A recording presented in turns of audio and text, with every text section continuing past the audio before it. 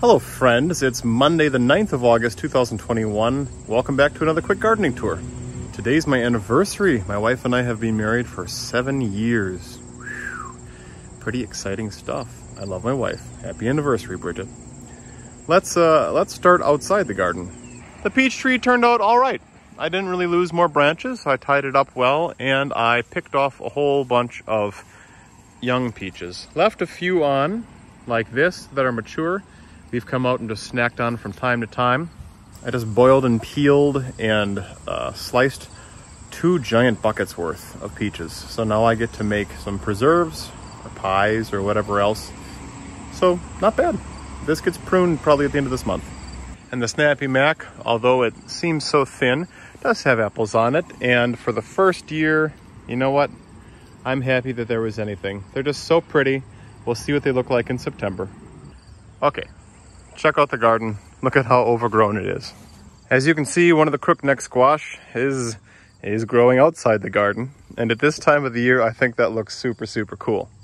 Here's where we started. I absolutely love these Mexican sunflowers. They are like seven feet tall, this whole hedge, right? And I see monarch butterflies out here all the time. So this like into my kitchen window, this is the view. Like you're the kitchen. I look out and see morning glory, sunflowers, these Mexican sunflowers. It's pretty slick. Let's start over here outside since we're still here. Raspberries will be here soon. Everything is pollinated. Now they're just ripening. Another couple of weeks and then I'm gonna be loaded. Behold the beans. It's bean season. Yay! Isn't this cool? I love this tangled net. Just complete mess of beanstalk, right? And hey, look what's at the bottom. Well, if that's not a tendril, I don't know what. It ends here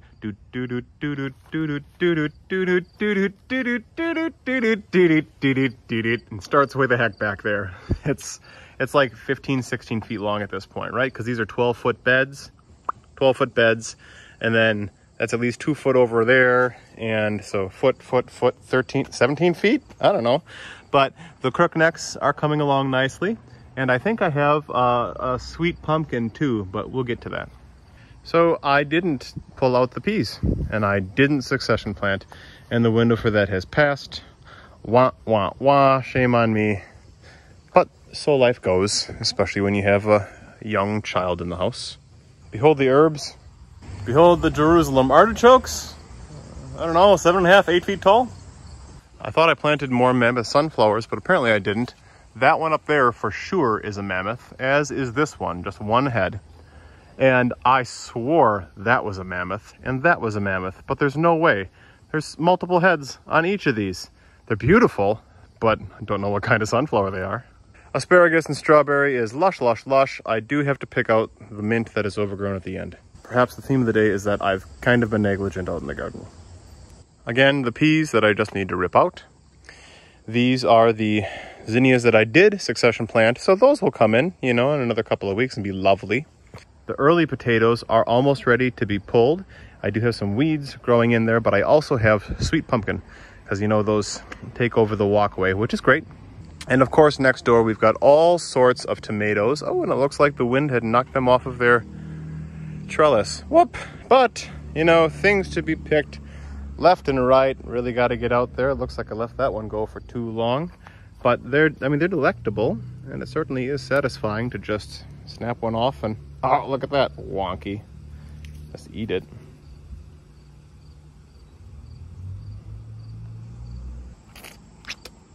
Mmm.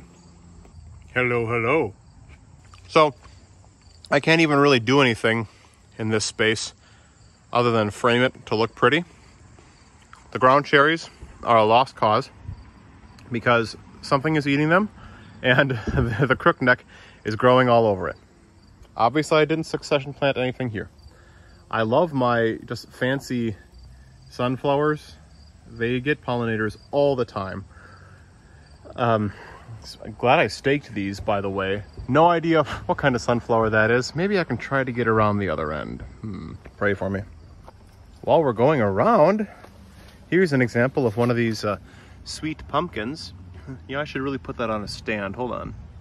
A couple years back, my mom bought me these squash stands, and I think the nicest thing, they just stake on in, and then your squash grows on this, so it uh, doesn't get as flat and mildewy on the ground touching side. So let's stick this in. Ta-da! I think last time I said uh, the squash bug just took over this, and there was nothing I could do.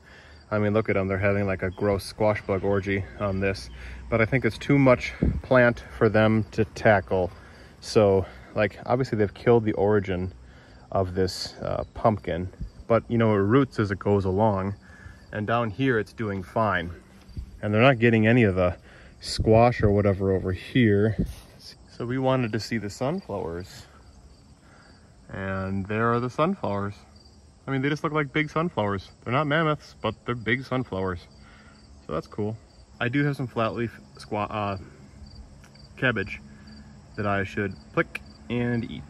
Otherwise, maybe note to self, uh, kind of went overboard with the squash growing in this area and letting it go crazy. Although these leaves,